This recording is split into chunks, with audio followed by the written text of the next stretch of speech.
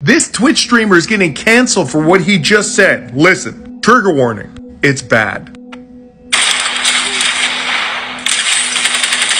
retard.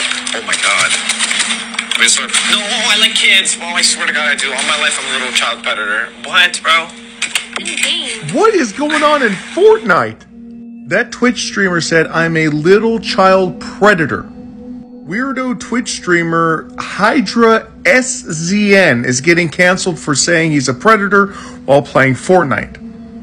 I don't know if you guys caught this, but re listen again to the very first part. We're going to walk through the many sins of Hydra SZN in just this one clip alone. Fucking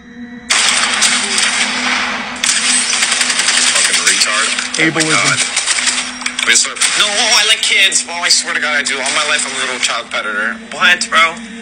Hydra SZN, ableism, and then confesses to being a predator, all because he lost a Fortnite match. 19,000 followers are following this person that just confessed to being a child predator. What do you think about this? And follow me for updates.